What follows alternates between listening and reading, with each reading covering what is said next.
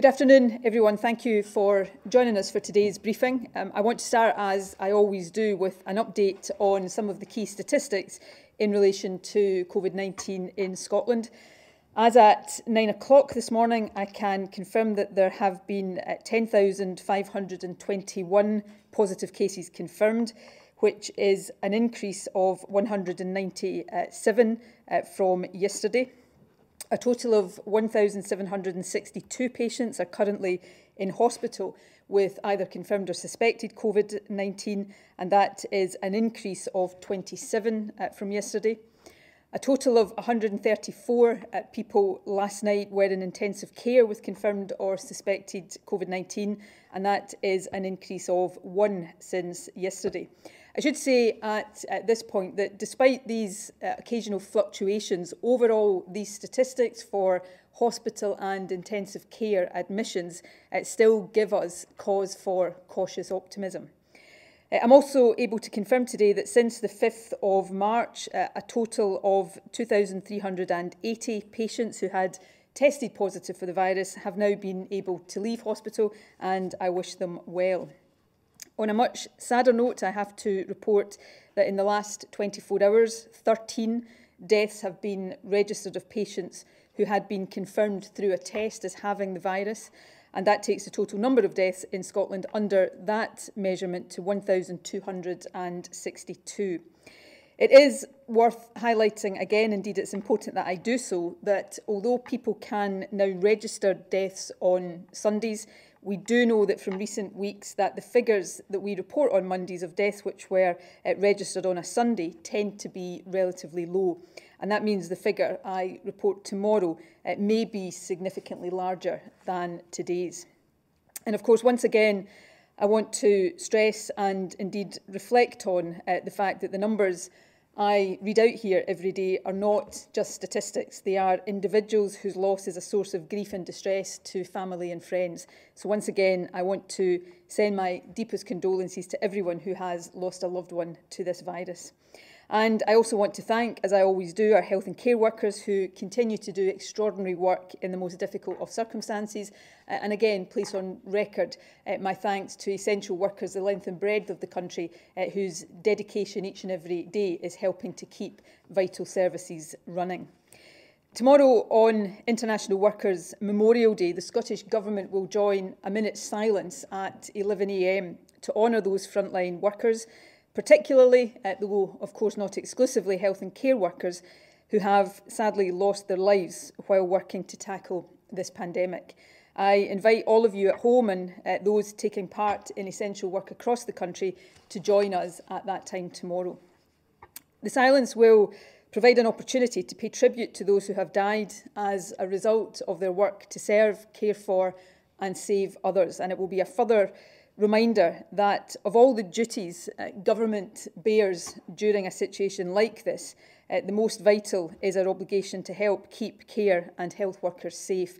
And I want to stress again today that I and the Scottish Government uh, are acutely aware of that responsibility and will work each and every day to do everything we can to fulfil that obligation.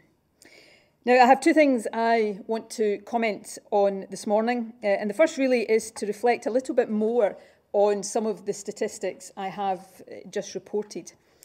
I know that it might not feel this way since the numbers that I am reporting each day, particularly those on the number of people who are dying, are always far higher than we want them to be. But it is nevertheless the case that we are now seeing some real signs of progress. The number of people in intensive care has fallen by around a third in the last fortnight from the figure I would have reported to you two weeks ago today. The number of people in hospital, uh, which was rising sharply in the first 10 days of this month, has also now broadly stabilised and the trend uh, there may also now be a downward one.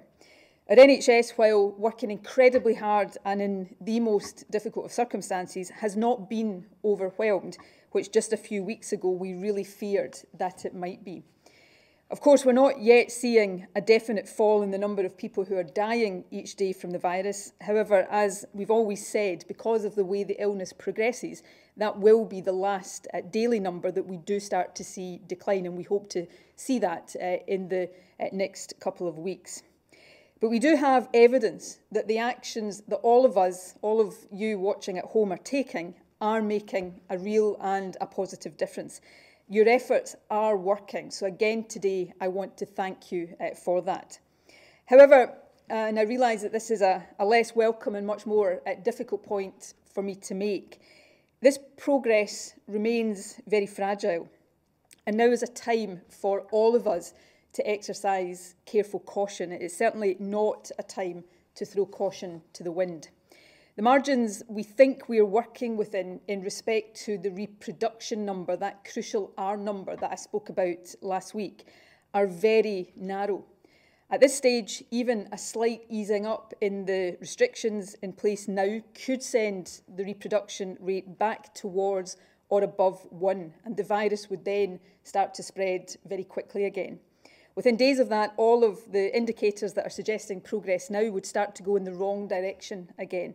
That would mean more cases, more hospital and intensive care admissions, and sadly, more deaths. So, for all our sakes, and to protect the progress that together we've made, all of the restrictions currently in place need to remain in place for now. The job is not done yet. We need you to stay the course for a bit longer. Of course, we are now thinking about the ways in which we can begin to ease the lockdown a bit when it is safer to do so, although we can't yet put dates on any of that. And as I said last week, lifting lockdown will not be a flick of a switch moment. We will instead be considering gradual and careful variations.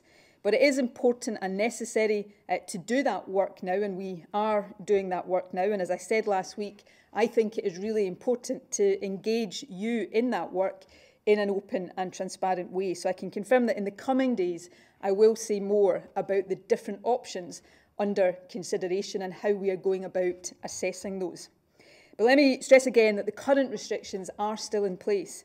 We have to stick with them for now in order to be able to relax things in future. As well as the impact on all of us as individuals, I absolutely understand the anxieties of business and I am acutely aware of the social and health impacts of economic damage. But let me make this point a premature easing up on these restrictions, if it led to the virus running out of control again, would not help your business or the economy. In fact, it would make the economic damage even worse.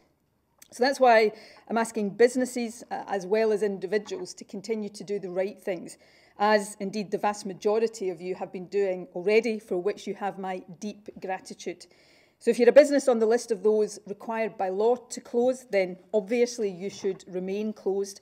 But if you're not in that category, but chose to close voluntarily at the start of lockdown and are now thinking of reopening, our view is that you should not contemplate doing so unless you can comply fully with existing guidance and are able to change your working practices to ensure safe social distancing at all times. The precautionary principle that I've spoken about before still applies for the protection of your workers and for your customers. And for all of us, uh, not just businesses, if you're now going out and about a little bit more than you were at the start of the lockdown, uh, then you really shouldn't be, because you might be putting yourselves and your loved ones at risk. Fundamentally, the basic restrictions of lockdown continue to apply. You should only leave home for essential purposes like buying food or medicine or exercising. If you do leave the house, you should stay two metres apart from other people and not meet up with people from other households. And you should wash your hands thoroughly and regularly. Uh, as I say every day, I know that all of this is difficult and I know that it gets more difficult with every day that passes, but it remains essential.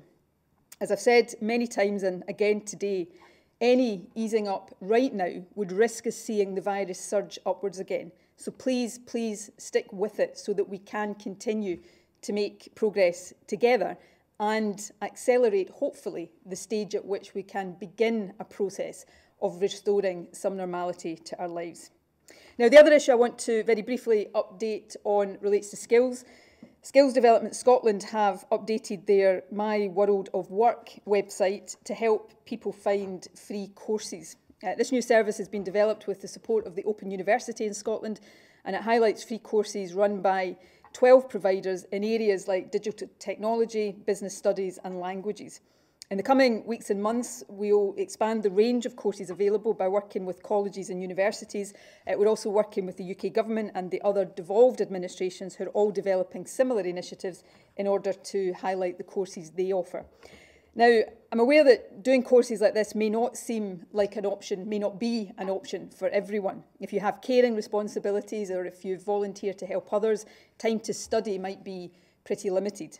But for some people, uh, maybe especially, though not exclusively, people who are currently furloughed or who have been made uh, unemployed, it could make sense to develop new skills during this period. So we hope that this initiative will help people to do that safely and free of charge. And it's a good example of the importance of digital public services. And I'm grateful to Skills Development Scotland for establishing this site so quickly. The courses are open to anyone. So if you are interested, uh, go to myworldofwork.co.uk where you'll find the free courses under the Learn and Train uh, section of the main menu. Uh, that concludes my update for today. Before I pass on to the Chief Medical Officer and then to the Health Secretary, I simply want to end by thanking again uh, each and every one of you for doing the right thing and staying at home. I know it's difficult, but it is, as I hope I've demonstrated today, also making a difference. The steps we are all taking are helping to slow the spread of this virus as we wanted to do. Uh, they are helping to protect the NHS as we wanted to do. And they are, notwithstanding uh, the figures I have to report to you every day, helping to save lives. Uh, so please uh, stick with them and thank you for doing so. Uh, I'll hand now briefly to Dr Gregor, Gregor Smith to say a word or two and then to the Health Secretary before we move on to questions. Thank you, First Minister. So I've spoken before about the need for people to come forward with urgent symptoms so that they get the clinical care that they need when they need it. This is especially important for symptoms like chest pain or when people experience a new weakness in the facial muscles, the limbs, or difficulty speaking that might be suggestive of a stroke. When I've been speaking to colleagues over the weekend and again today, there's a feeling that it seems more people are attending with these type of symptoms. That's good, and it's important as these need to be assessed quickly so that they can be treated appropriately. Speed is of the essence here, and my message to you again is please don't delay seeking help if you experience these type of symptoms. If you do, my colleagues and I expect you to phone 999 so that we can help you as quickly as possible. I've also spoken about the need to speak to someone about new symptoms that may need to be assessed quickly to determine whether there is a suspicion of cancer or not. Symptoms like rapid, unintended weight loss, new or unusual bleeding, or the detection of a lump. These are all things that you shouldn't ignore, and I urge you to speak to your GP about it soon. But I also need your help today. When I've been speaking to colleagues, they've also told me that they've seen more cases of people presenting with trauma after accidents or risk-taking behaviours. I'm sure that many of these will be avoidable. As an example, there are more people using cycling as a way of travelling just now, and I make a plea to all road users, whether on a bike or in a car, to be especially mindful of each other on the road. Similarly, if you're tackling new projects at home or in the garden that you've been putting off until now, please take care and make sure that you're following all the guidance necessary when you're working at height or with electrical tools. Anything we can do together to reduce the impact on NHS services just now is appreciated and welcome. I'm grateful to you all for your continued support of the restrictions that are in place and want you to know that they're making a difference. We now need to ensure that everyone who needs care is receiving it, not just those with COVID-19, and that the avoidable injuries and trauma that necessitate treatment are kept to a minimum for everybody's sake. So I want to emphasise once again, if it was urgent before COVID-19, it remains urgent now. Please know that your NHS remains open for you and is ready to help you when you need it. Thank you, Gregor. Uh, I'll hand over now to the Health Secretary. Thank you very much. I, I too want to say a few words about how the NHS is open and I want to focus particularly on primary care, on your GP practice and all the expertise that's available to you there. You'll remember that we established a very specific community pathway for those individuals who were experiencing COVID-19 symptoms. We created the special phone line 111, which would then uh, pass you on to a hub where you would get clinical expertise uh, assessing uh, your symptoms. And if necessary, you were then uh, made an appointment with a community assessment centre.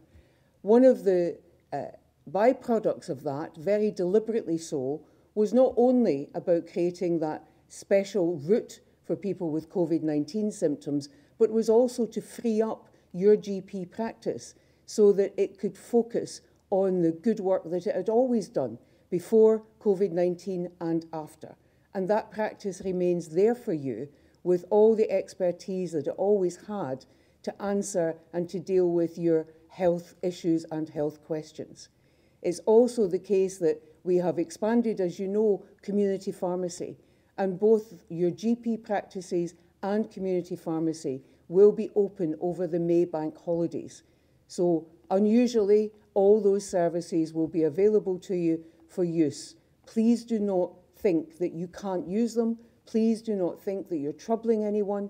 You are doing what we want you to do, which is where you've got a health issue or a concern and you would normally go to your GP or to your community pharmacy for their expert help and advice, please continue to do so. As we follow those important public health messages, your NHS in primary and acute and urgent remains open for you. Okay, thank you very much uh, to the Health Secretary. I'll now move straight to questions. Uh, first question comes today from Glenn Campbell from the BBC. First Minister, with Boris Johnson returning to work today, are you and he as one in your approach to lifting lockdown, or are there differences? And if the UK hits its 100,000 test target later this week, what will Scotland's total contribution to that have been? Um, I'll say more about testing as the week develops. We are working in Scotland uh, on making sure the the capacity uh, for tests uh, hits the 3,500 target that we set, and uh, I hope it will go beyond that. But more importantly, we're of course uh, working to ensure that the number of tests done in Scotland uh, meets that capacity and uh, is, is maximised and is done in the way that helps us with our overall uh, approach to tackling the virus. And obviously, tests in Scotland are done through NHS uh, laboratories and NHS schemes, but also we now have, as part of the UK-wide uh, system, the, the drive-through operation, which of course now has a, a digital portal uh, where people uh, can access more easily. So we'll uh, obviously give uh, more detail and, and more uh, report more numbers around that as we uh, go forward uh, this week and indeed beyond as we go into a, a test, trace, isolate uh, approach as part of our strategy for the next phase. Um, on the question, let me say, first of all, it's good to see Boris Johnson uh, back at work today, having recovered uh, from the virus. I'm sure uh, everybody will, will welcome that. Um, I think we are at one in wanting to see uh, this virus beaten, in wanting to see the number of uh, cases uh, reduce, the reproduction rate reduce as far below one as possible, and to make sure that whatever we do now moving from the position right now into um, a, a position where we start to ease up some of these restrictions, although I refer back to what I said about it being slow and gradual and, and not a flick of the switch uh, moment, that all of that uh, enables us to keep cases low and keep the reproduction uh, number below one. So I think we're all absolutely united in doing that.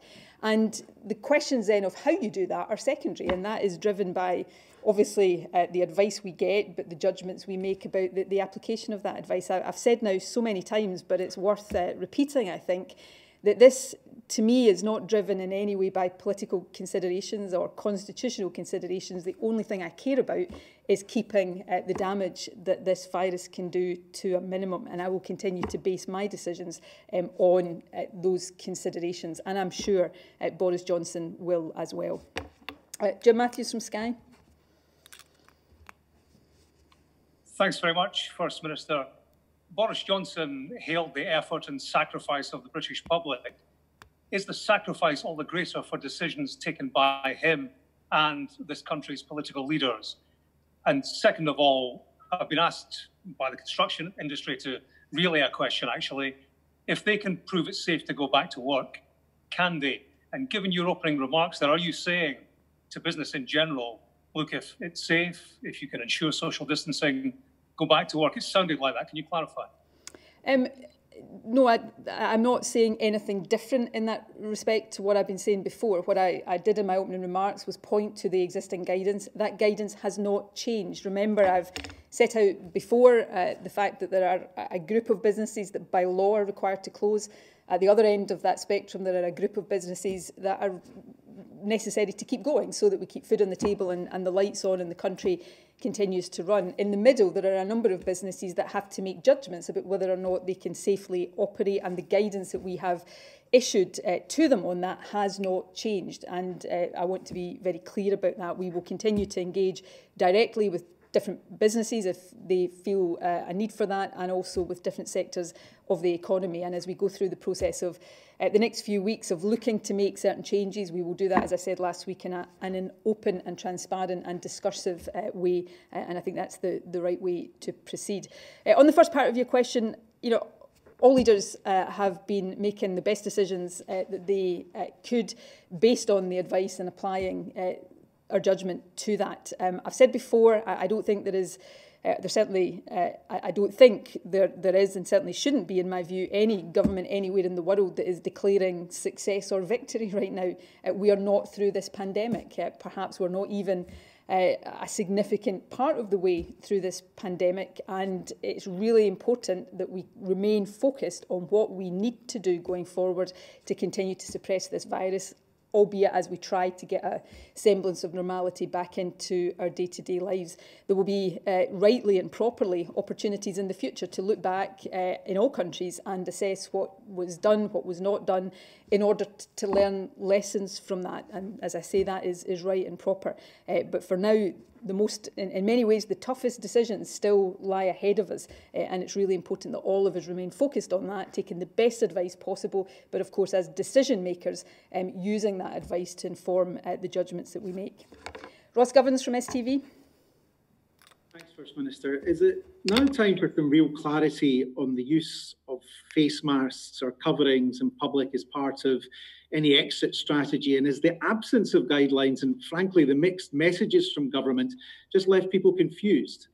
Um, we intend to put some guidance out. I think I've uh, indicated this uh, before. We we, we had an intention to put some guidance out. I hope we will be able to do that uh, probably tomorrow, uh, which will uh, take account of the, the advice that we have on that, which is, I think it's fair to say, inconclusive. And, you know, the, the evidence base around wearing face coverings is not overwhelming. Uh, but as I've said before, and I've expressed sympathy before uh, with the position that Sadiq Khan in London um, has, has articulated that in certain circumstances, um, you know, for example, in, in certain enclosed spaces where social distancing is not possible, there may be a benefit to covering your face, and we will put some guidance out to give people clarity um, around that. As I say, I, I would hope we would do that uh, tomorrow. Um, let me just make two additional points to that. Firstly, um, this is face coverings we're talking about, not medical masks. And I think it's really important to be clear about that. So we're talking about you know, scarves or, or bandanas, uh, not the, the masks that health and care workers would wear. And secondly, and this comes back to the point about the evidence around this, wearing a mask covering, a face cloth face covering in public is not a substitute for following the rest of the rules and advice. And, and that's the bit I think we've taken a bit of time so that we can be really clear about. It doesn't mean that you can ease up on the rules that are in place right now.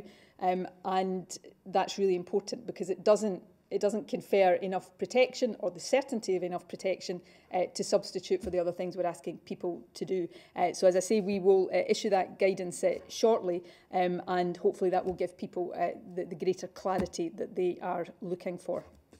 Uh, Peter Smith from ITV News. Minister.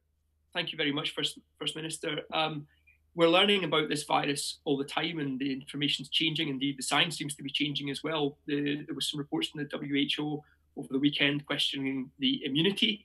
Um, what can you please share with us? What is the Scottish Government's current view of the robustness and length of time that people have immunity after having the virus. What's the current view on that um, for informing your strategy? And also the latest reports suggesting that there could be coronavirus related illnesses being seen in children. What do we know about that and how will that influence your decision to open schools? Uh, I'm going to hand over to uh, Gregor Smith to take uh, both of those points. I think very briefly from me, because it's, a, it's, it's an issue I am acutely interested in, as, as all leaders will be, as we try to, to work our way through these decisions. On the immunity point, uh, the bottom line is there is no certainty yet whether or not this virus confers immunity once you've had it, and if it does, what the length, uh, the time span of, of that immunity will be. And, and clearly, uh, that uncertainty there has implications for you know, what we have talked about previously about antibody tests or any you know, approaches in the longer term that might use uh, immunity certificates or anything like that. So it's one of, not the only uncertainty around this virus, but it is one of the key ones. Uh, and, you know, hopefully as time passes, we will get a deeper understanding of that. Gregor, do you want to take both of those points? Yeah, I mean, I think the point you've made there about highlighting the, the emerging evidence here is, is, is really, really important because, as I've said on countless occasions, we are constantly learning um, about how this, this, this new virus behaves and, and, and exactly its impact on, on the community. And, th and this is a particular area uh, where, where there's, there's a little bit of growth in the evidence recently about, about actually what do we understand about how immunity um, is, is obtained to the virus and, and whether that's sustained over any length of period as well. That's partly helped by the fact that, that we're gradually getting better tests for the serology. That's the antibodies that we detect in people's bloods afterwards. But I, what I would caution here is that, that those tests are still not of the, the highest sensitivity yet for us to be able to speak with any degree of um, convincing authority as to what that um, uh, immunity is likely to be over a prolonged length of time. But gradually we're getting more information about this. And um, as I say, I think as, as those tests begin to mature and become much more reliable, we, will learn more about this uh, as well. The second point that you made was about the, the, the, the small number of cases that there have been of um, children presenting, um, particularly in um, the, the, the London area with, with um, various forms of complications from uh, potential exposure to COVID-19. This is very, very early case reports that we're starting to see um, and we're, we're comparing the experience around the world here. We know that in general there's many viruses which can cause similar types of syndromes in children and in the cases that have been identified here it's, it's important to note that not all of these children have tested positive for SARS-CoV-2, the virus which causes COVID-19 as well. So again, this is an area of emerging evidence, one that we're learning from, and I think that we need to wait to see how this evidence begins to, to kind of emerge more fully before we predict exactly what the, the long-term consequences of that. But I would emphasise again, this is a very small number of children, really important that we learn about it, um, but, but, but um, more evidence is needed. And final point I, from me... Ask, it did, see, yeah. there seem to be a slight change on the immunity though, just, just as recently as two weeks ago, we heard your National Clinical Director, Jason Leitch, saying it appears that if you get the virus, you don't get it again. Has, has the science changed? I don't think the science has changed. I, I, I think that we don't yet know enough to say these things with certainty, and, and this is not something that will be different in Scotland to anywhere else in the world. That question of what uh, level and longevity of immunity is conferred once you've had this virus is simply still under under discussion and it's not something that we can say with certainty. Uh, you asked about, uh, I think in relation to the second point, what impact that has on some of our decision making. All I would say in general here, and I'm not uh, talking specifically about these two points of detail, uh, important though they are, but in general, the fact that this virus is still just over 100 days old, the fact that there is a lot we still don't know about it, also feeds into that uh, need to be really cautious as we take decisions uh, about the future. Uh, there are other reasons for that as well, as I've set out before, but some of this uncertainty means that we, we just need to be careful and considered uh, as we take these decisions for the future so that we're not having unintended consequences of, of things that we do. Peter McMahon from ITV Border. Uh, Sorry, I was just. Um, First Minister, uh, you were asked yesterday about the possibility of a border between England and Scotland, and your reply was that you were in discussions with the UK government about that. Is that because you think it would be a good idea to have such a border and it might have some benefits in fighting this virus? Or was it a misunderstanding? And were you actually talking about the UK borders? And if that was the case, how would that work? Because there seems to be some lack of understanding as whether actually imposing a UK border would actually have any benefit. Well, when I answered the question yesterday, and this was a point put to me, it wasn't something I raised. I was actually talking about external, international UK borders, and actually I raised that point uh, standing here last Thursday when we published the paper. Um, and yes, there is difference of opinion. There's difference in terms of evidence about how effective that would be. But like many other countries are doing, as we go back into hopefully a containment phase, that has to be part of the the discussion uh, that we we have about how we contain and keep the virus at, at very low levels. And, and these are discussions, obviously, given where the the devolved reserved uh, power uh, split is on this that we continue to have to take uh, uh, to have with with the UK government. I mean, I have to say, um, and I, I say this, uh, you know, in a sense, with with a degree of regret. I, I think you would have had to really twist and exaggerate my response to that yesterday to get to some of the uh, headlines we see in some of the newspapers uh, today. Um, and again, I'll make a point here that I've made before. Um, my only interest right now is what we have to do to fight this virus. And anybody who is trying to use the the immediate challenges we face in tackling this virus, or to twist what I say in uh, relation to some of these issues, to make any kind of pre-existing political or constitutional uh, point will not find me willing to play ball. This virus is still out there doing its damage. People are still being admitted to hospital. People are still being admitted to intensive care. People, sadly, are still dying. And that's why I come back to this point. The only thing that matters to me is taking the right action, whatever that might be, to try to tackle that and to reduce the harm that this virus is doing. And I know that doesn't necessarily translate into quite so dramatic headlines, uh, but that I'm afraid, is the position. And for as long as we're dealing with this, that will continue to be the position that I take. Uh, Alan Zazinski from Global. Thank you very much, First Minister. We also heard the Prime Minister this morning talking about the importance of reaching out, bringing in opposition parties for talks more across all the four nations. Just wondering if you've spoken to him recently and if you think those comments mean devolved administrations could have more of a bigger influence on the UK wide strategy as a whole going forward. And just also, he talked about the importance of the transparency behind those decisions too. How crucial is it for the public to be told what the science actually is that's being relied on? Will we start to see more detailed, more specific information about that science given out in the future? Well, on that latter point, I, I spoke last week about the importance of transparency as we take these decisions, because these decisions are, are uncertain, they're complex, there's no absolute rights and wrongs in any of this. And you know, that's why I said and continue to believe it's important to have that adult grown-up conversation with a lot of transparency around it. In terms of uh, points about science in particular, I, uh, we have established here in Scotland our own advisory group, which uh, provides uh, an augmentation to the the, the advice that comes out of, of SAGE, the membership of that advisory group is, is published, the, the minutes of the meetings of that advisory group are published, and I think that is the, the right uh, way forward. Uh, but you know, let me be clear about the relationship between science and decision making on, on the part of leaders. As a leader, it's my job to make the decisions and be accountable and held accountable for those decisions.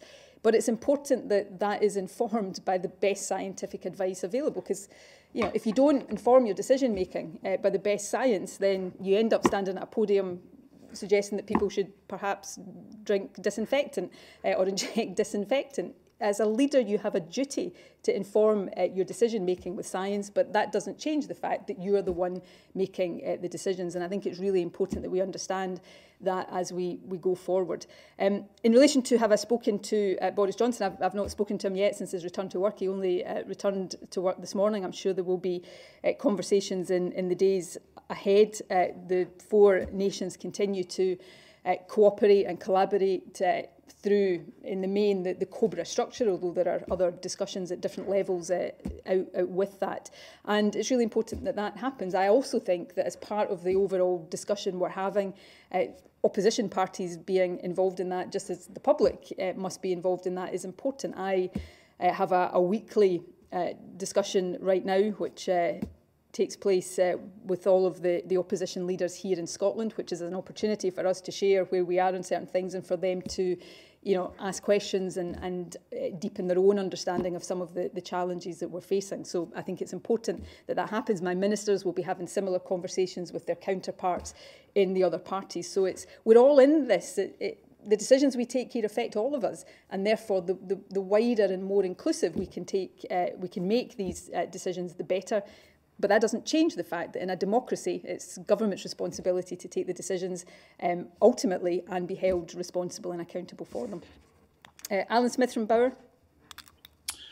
Thank you, First Minister. Um, looking at the issue of testing, as the as the capacity uh, continues to increase, we're still seeing a, a lot of spare capacity. There are calls for uh, the routine testing of health and care workers to give them an ongoing assurance to to relieve some of the anxiety that they're facing. So I was just wondering, is that something being explored? And if it was possible to introduce routine testing of health and care workers, how soon could that be done?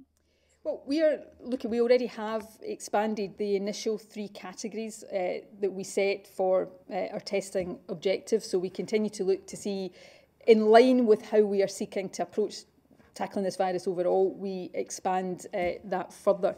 Uh, the one point I would make, which I've made previously, and it's not the same point, but it, it falls into the kind of a similar category to the immunity issue that was raised um, a couple of questions ago as, as an area of uncertainty is that right now we, we don't know really for sure how reliable this uh, the testing is when people don't have symptoms. So we, you know, there is evidence out there about uh, people who are asymptomatic perhaps shedding virus, but we, we don't know yet that this test is really reliable. So we've got to be careful that when we are using testing, uh, we are not doing that in ways that could end up giving people false assurances about whether or not they've, they've had the virus. So all of these things need to continue to be considered and, and they will continue to be considered as we expand um, the use of the testing capacity that is building up all the time.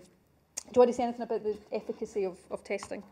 Yeah, I mean, I think it's really important that when we're considering how we use testing, that we use it to the best of our ability to provide useful information. So whether that's useful information to an individual or useful information in terms of giving us a sense of, of, of what things are from a population level, we just need to make sure that that testing is deployed um, in absolutely the, the, the correct way.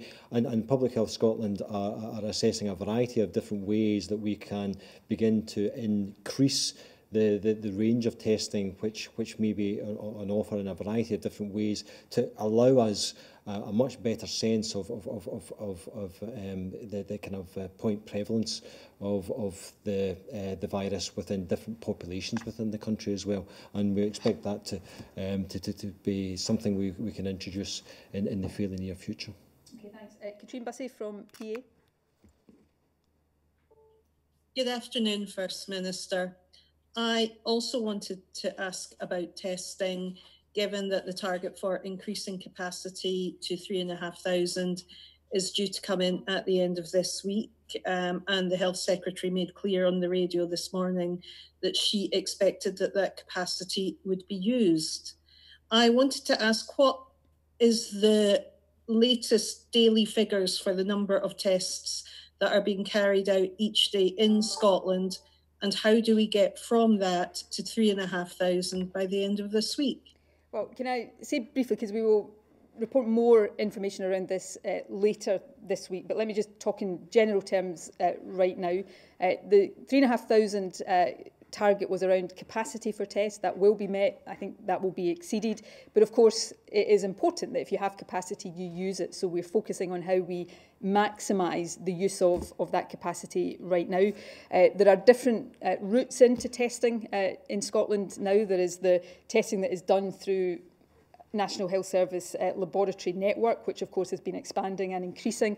Uh, there's also now the route uh, through the, the digital portal, um, that is the UK-wide digital portal through the, the drive-through uh, testing centres and also some, although this is still quite limited, home delivery of tests. So in terms of that question, how, how many tests are being done in Scotland, uh, that is information that we will uh, look to report over uh, the next uh, few days, which will take account of all of the different routes uh, into testing uh, that exist. Increasingly, of course, uh, much of our thinking is how we get from, from where we are now into the even bigger expansion of testing capacity and also contact tracing capacity that we need for a test, trace, isolate um, approach, which, as you've heard me say before, will be a key component, not the only component, but a key component of the next phase of, of tackling the virus. Uh, Jeane, do you want to say any more about uh, testing? So the, the other point I'd make is that um, when we reach the target towards the end of this month, uh, we will have gone from two labs that between them tested 350 uh, samples a day. That was what they were capable of doing to 3,500. We will meet that number. The key is uh, to make sure that access to that testing is as smooth and straightforward and with a purpose. Uh, as uh, both the CMO and First Minister have said, that the point of testing uh, can shift as we move from where we are currently to uh, our plans and preparations for uh, any level of easing of the, the current restriction measures uh, at whatever point uh, those decisions might be taken. So we are ramping up both our capacity but also looking very carefully at how we can improve access to that capacity so that we can meet that obligation in terms of test, trace and isolate. from The Guardian. You, First Minister. Just um, picking up on the question you were asked by a colleague a short while ago on the issue about um, joint working between the UK's different governments, the Four Nations strategy. Um, do you believe that Scotland's chief scientific advisor and chief medical officers should have full participation and membership rights on SAGE? Well, we know situation where the, the chair of uh, the advisory group here in Scotland does participate fully in SAGE and that has helped to, um, I think, deal with a deficiency um, that I certainly felt was, was there at the outset. Um, let me just explain a little bit more about why I thought it was important to establish that advisory group in Scotland. It's not a criticism of the advice uh, that is coming out of SAGE, which is of high quality and has been very helpful to us so far and will continue to be helpful. But there was two reasons at an earlier stage of dealing with this pandemic uh, that made uh, me think that I needed to augment uh, what was uh, coming out of SAGE. Uh, one was to make sure that what's coming out of SAGE is properly interpreted and understood in a Scottish context, uh, because you know it may not be the, the case always that what is required elsewhere in the UK is right for Scotland. So I wanted to be able to ensure that we were getting a more granular uh, view and interpretation of the data and the advice and the evidence. Uh, but secondly, so that I have an ability as as First Minister, as the, the chief decision maker in the Scottish Government, to uh, interrogate directly some of, of that uh, advice and to have somebody that I could ask questions of so that my understanding of it is, is uh, as it needs to be. And, and that wasn't, I felt, the case earlier on with SAGE. So now uh, with Professor Andrew Morris, who chairs uh, the group here in Scotland, participates in SAGE, I've got somebody that I can you know, ask questions. He's entirely independent and gives independent advice, but I have an ability to, to question and interrogate that so that I make sure I understand it properly, I understand any nuances in it, I understand any you know, differences of opinion that might lie behind it. So those were the two reasons why, not to be critical of SAGE, but to make sure that we built on that to give me as First Minister the kind of advice that I needed and the ability to interrogate that advice that led us to the position we're in now with the CMO advisory group here, which I, I think is, is a, a solid and sound position uh, for the decisions that lie ahead of us. Uh, Vivian Aitken from the Daily Record. Afternoon, First Minister. Um, 22 people, we learned today, have died at a care home in Elderslie. Yet the World Health Organization says anyone in a care home diagnosed with or having symptoms of COVID 19 should be transferred to hospital. Why is that not happening as a matter of course in Scotland, um, where our care home death rate appears at least to be far greater than that in England.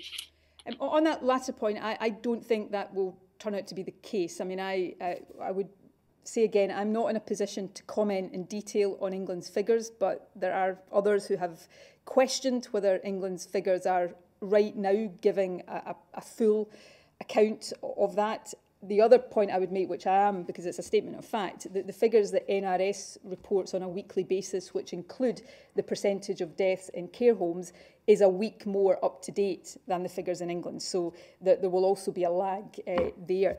In terms of the decisions about, and I'll hand over to, to Gregor uh, as, as a doctor to answer this question, but the decisions, not just in relation to coronavirus, but on any illness as to whether somebody needs hospital treatment is a, a clinical decision. It should not be something that is decided as a matter of policy because while there will be uh, obviously people who contract this virus in care homes who do need and will benefit from hospital treatment, there may be others for whom a transfer to hospital would actually not be uh, in the best interests of, of their health and, and ongoing uh, management. So these decisions should not be made by somebody like me, these decisions should be made by clinicians uh, who have the ability to take all of the factors of an individual's uh, condition into account. Do you want to say a bit more about how yeah, that I will think happen? I just want to, to again emphasise this point that, that where there is um, a clinical need for any of our Scottish care residents to be treated in hospital. Uh, that, that will happen. Um, the, the, the, the guidance is very explicit in those terms that,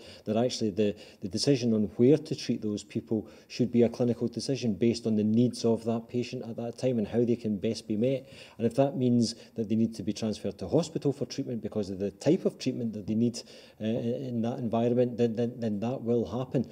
But, but it's also the case that actually it's very often much more appropriate for the type of care that these people really need is that that's best delivered in a place that's known to them by people who are able to care for them um, in, in, in their own environment. And as I say, we need to continue to make sure that that's delivered with the, the, the, the kind of utmost um, uh, sense that, that, that, that this is with a, very much with the patient's uh, needs in mind at all times. Thank you. Um, Christine Lavelle from Sun. First Minister. Um, it was just regarding the R naught transmission rate. Um, is there any indication that that's different region by region in Scotland? And is it possible the restrictions could be eased regionally? Um, I also just wanted to ask um, what this number needs to be before we can exit lockdown. Well, it needs to be as far below one as possible. We've not put a, a specific uh, on that yet, although that is part of the consideration uh, that is, is underway. Um, it is possible that the figure differs in, in different areas, but as I said uh, last Thursday, we, we would think that even although um, what we estimate right now it is, is between 0.6 and, and 1 in care homes, for example, it's still likely to be higher than that. On the question about regional um, variations, I, you know, I made my position on this clear. If, if the evidence tells us that helps us to be more effective in combating the virus, then we will consider that. Uh, my preference from a, a, a perspective of being able to give clear and easy to understand messages to people is we have as much consistency as possible. And I think people can understand that. But as I keep saying here, my, my only consideration, whenever I'm judging or weighing up different things and reaching decisions, uh, my overriding consideration in all of this is does this help us get this virus uh, down? Does this help us uh, stop people being admitted to hospital? Does this help us stop people dying from this virus? And I will always come at these decisions from, from that perspective uh, and not anything else. Uh, do you want to say any more about the R number?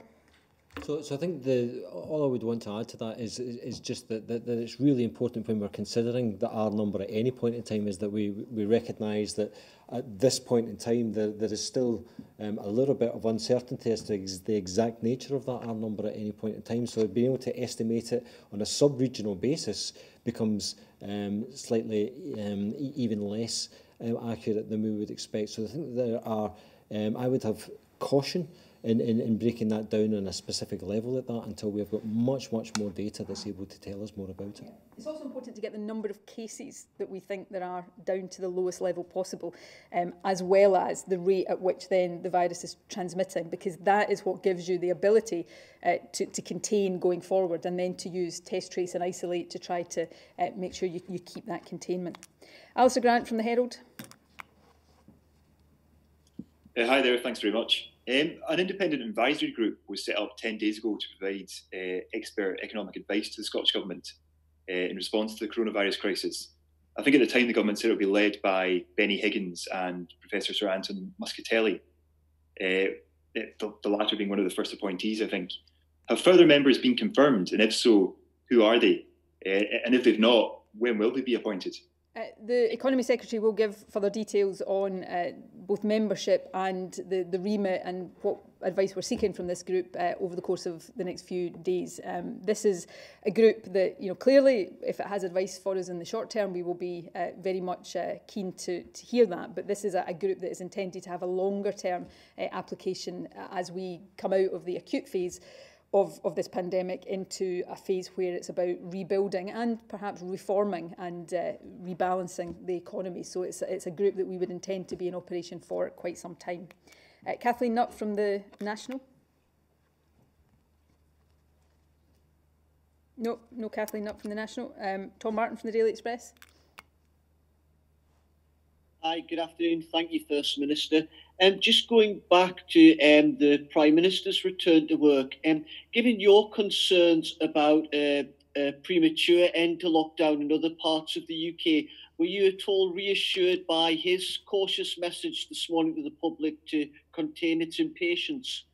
Um, yes, I, I thought uh, the Prime Minister's message this morning uh, was, was appropriate, and I, I think if you listen to what he said and to what I'm saying here, there's uh, a lot of alignment there in terms of we've made progress, but this next phase is one where we need to apply a very high degree of caution. Um, you know, I, I was saying yeah, I, I'm not necessarily predicting we will get into a, a situation where the UK is, is lifting the lockdown in a way that I would think was premature. I've, I've, I've been asked in what circumstances would Scotland perhaps take a different path, and that is one of the illustrations I've, I've given. But I, I very much hope uh, that we continue to work as far as the, the evidence tells us is appropriate in alignment, uh, not least for the, the simplicity of, of messaging uh, that I've spoken about already. But I come back to the point I keep making.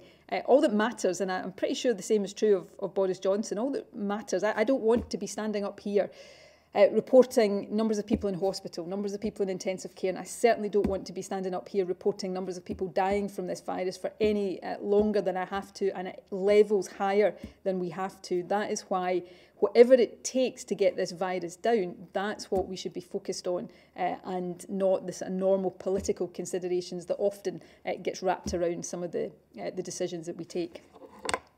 Simon Johnson, Telegraph. Um, a couple of weeks ago on these briefings, First Minister, I raised the issue of whether people would be able to go on their summer holidays this year. I just thought it'd be worth raising again, given the information and the strategy you put out last week. Um, two questions really. Um, the strategy sort of makes clear that social distancing will will continue for some time to come. Will people be able to go onto airplanes and, and fly to foreign destinations? And secondly, the strategy calls for surveillance for people coming back into the country. And I just wondered whether that would be compatible with you know thousands of, of families flying back from from their holidays. Um, look, what I said to you a couple of weeks ago when you asked me this question, um, which was that I, I wouldn't want to give people an expectation that summer holidays will happen as normal this year, hasn't changed. That remains uh, my view um, based on everything I, I know about the, uh, the the difficult path that still lies ahead of us in, in this virus. But beyond that, I'm not going to get dragged into giving definitive answers and specific dates and timescales on things before we are able to do that uh, confidently and, and properly. So, uh, you know, if I said something a couple of weeks ago on this or anything else, and, and unless I've told you that's changed, then you can assume that it remains my, my position uh, going forward. Kieran Andrews from The Times. Thanks, First Minister. In the Times today, John Swinney said that uh, there's a plan being considered to bring pupils back to school earlier in August to give more classroom time, particularly if the virus takes off again in the winter months. Would this mean that the school summer holidays would be brought, the start of the school summer holidays would be brought forward to start perhaps at the start of June or the tail end of next month? And if so, is this plan predicated on pupils not going back to school until after summer holidays, whenever they may be? Right, that, that question was quite complicated. Uh, forgive me, uh, Kieran. I'm not sure I entirely followed the latter part of it. Um, I'll come back here to an answer I'm going to.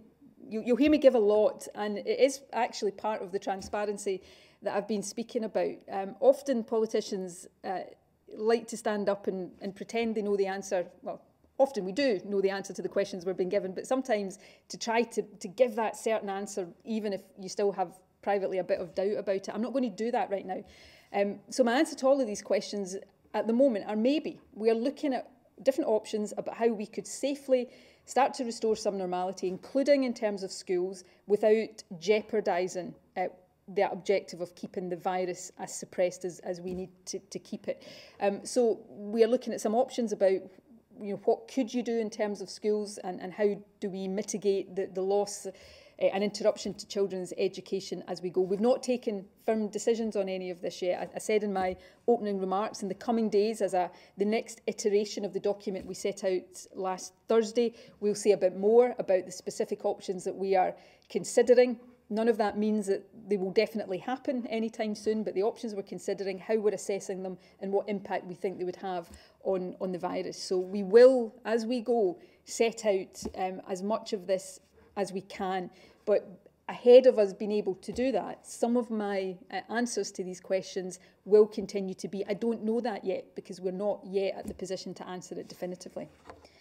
Uh, Rachel Watson from the Mail. Um, this question's for the Health Secretary, if that's all right. Um, yesterday, you were asked about military pop up testing facilities visiting care homes, and you said that that would happen this morning on the radio you said that they won't be visiting care homes. Given the number of deaths and the spread of the virus in care homes, can you tell us when that will happen and if you hope it will happen and what led to that confusion? I, I don't think I was confused in what I said. The uh, pop-up mobile units are part of that uh, Four Nation uh, testing program that includes the drive-throughs. Uh, they're there primarily to uh, enable increased testing of key workers. Uh, we have key workers in care homes, of course, and you'll recall that last week uh, we were very clear about the importance of care home workers being able to access testing, as with care at home workers, as well as uh, an increase in the testing of uh, residents in care homes who are symptomatic. That will primarily be done by our uh, NHS uh, local health protection teams, uh, through the leadership of our public health directors, but where we need uh, that to be increased because a care home is in a particular area and the mobile unit is there, then we would, of course, sensibly use that mobile unit. It's about maximising all the resources we have so that we maximise the capacity uh, and the use of the capacity that we have in testing. Uh, Scott Macnab from the Scotsman. Um, First Minister, can I um, ask about NHS capacity? Can we quantify where we are, how far within capacity we are, if we like, to deal with potential um, surges? Do you have a figure in mind for where that would have to be before we look to move out of um, lockdown? And is it still the situation that you don't expect to have to use um, the Louisa Jordan? Um, I'll hand over to uh, the Health Secretary in uh, a moment, but we are uh, operating within uh, health service capacity uh, right now.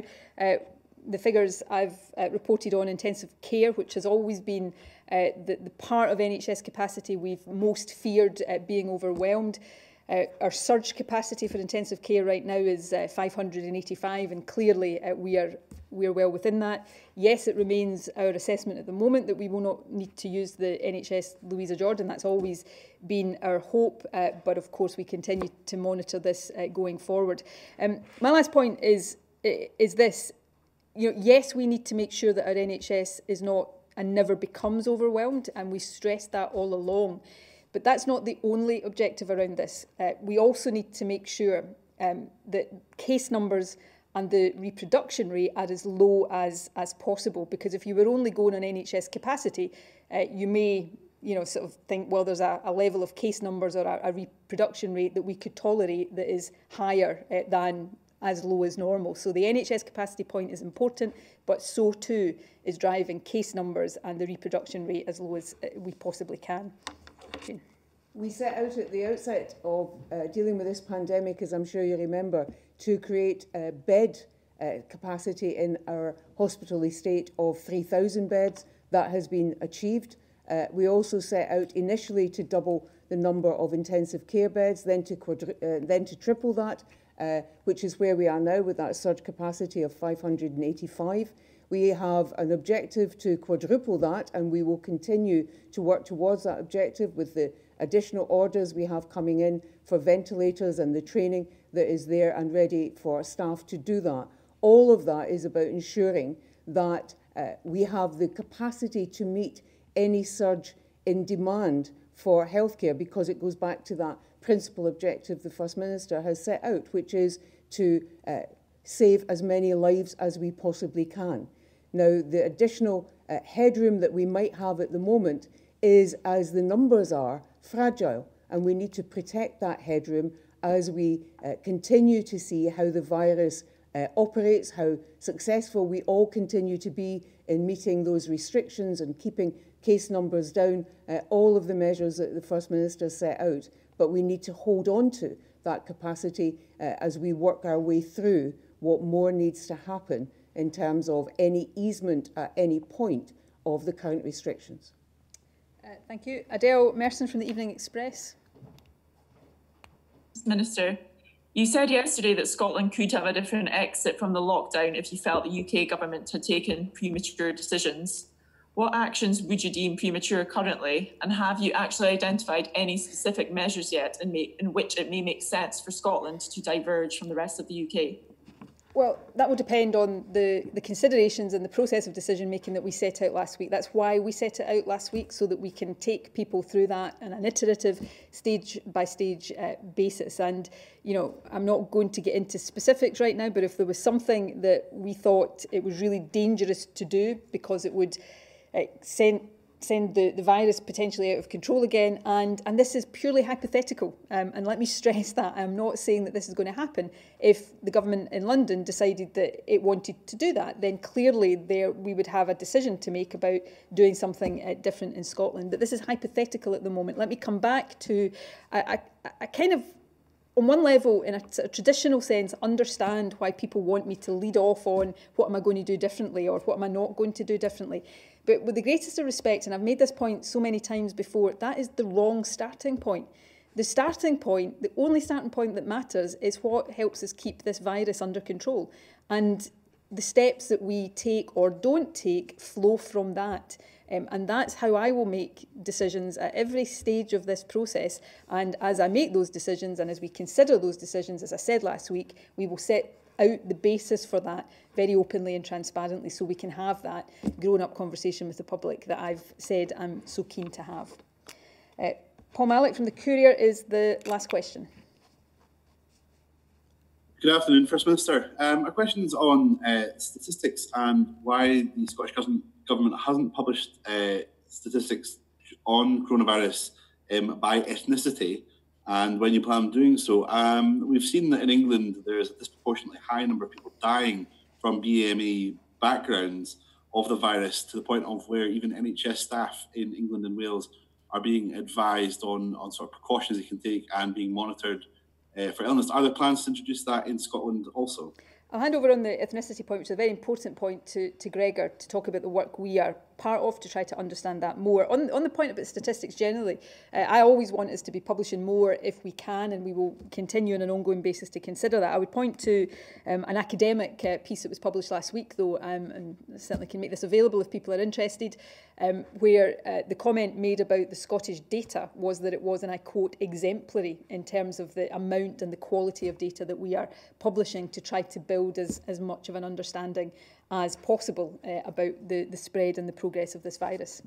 Gregor, do you want to take the ethnicity point? Yeah, I mean, I think, uh, as, as First Minister said, this is a really important point. There, there, there's, there certainly appears to be a signal coming through that um, there's overrepresentation of certain ethnic groups in some of the um, the research data that's coming through, particularly from um, more severe cases and, and from ICU admissions. That's, that's primarily come from a lot of the experience in the initial uh, stages of the, the, the London epidemic. And, and um, the, there's clearly a need to try to understand this in, in, in a much more degree way. There are lots of factors which makes this data difficult to understand at, at, at the moment. And that's why working with the other CMOs across the UK, we've commissioned specific research uh, to be able to try to better understand exactly what this data is telling us and, and, and um, whether there are any actions that, that flow from that data as well. It's a signal that we've seen not just here in the UK, but we've seen in other countries as well. And um, I know that there are links established with other European countries who are also looking at this type of data as well. And, and I think my, my, my message here is, is that where there is reliable data that we can uh, openly publish. Um, we will always seek to do that, but, but it needs to be uh, reliable data that's available to us and that's meaningful in, in the way that it's presented. Thank you, Gregor. Um, that, that concludes the, the questions we have today. So can I uh, draw today's update to a close by thanking you again uh, for joining us. Um, I can see that it's uh, sunny outside today, which I know makes it much more difficult to ask you to continue to stay at home. But I hope I've demonstrated with uh, Jean and Gregor today the importance of continuing to stick with these measures. They are working, we are seeing that progress, but it would be all too easy to reverse it. And then all that would mean is that we have to have these very severe restrictions in place for even longer. So please uh, stick with it. Thank you so much for what you're doing so far. And we'll see you here tomorrow at the normal time of 12.30. Thank you very much.